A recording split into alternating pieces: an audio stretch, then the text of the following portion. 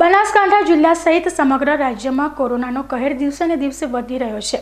ત્યારે કોરોનાની મહામારીના સમયમાં શરીરની રોગપ્રતિકારક શક્તિમાં વધારો થાય અને લાખણી ગામમાં કોરોના વાયરસ વધુ પ્રસરે નહીં, તેમજ ગામની સુરક્ષા માટે અને ગામના લોકોનું આરોગ્ય સારું રહે તે હેતુથી ગ્રામ પંચાયત દ્વારા આયુર્વેદિક ઉકાળાનું વિતરણ કરવામાં આવ્યું હતું.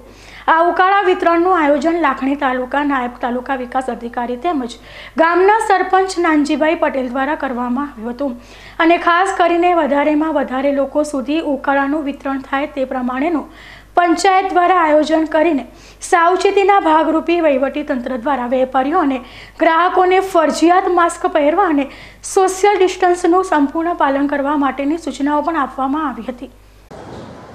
આજ રોજ સત્યાવીસ નવેમ્બરના રોજ લાખણી તાલુકામાં લાખણી ગ્રામ પંચાયતના સૌજન્યથી ઉકાળા વિતરણનો કાર્યક્રમ રાખેલો હતો.